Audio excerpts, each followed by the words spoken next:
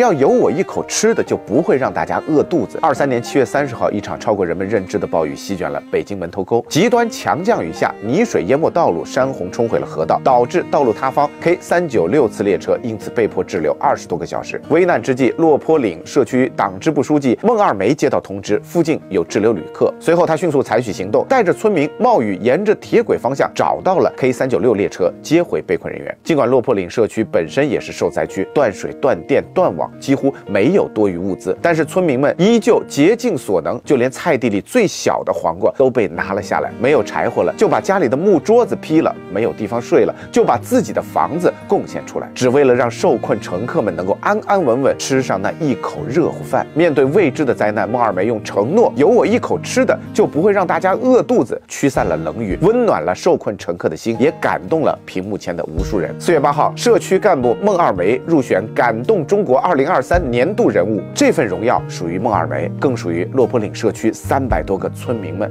是他们无私的善意点亮了希望的曙光。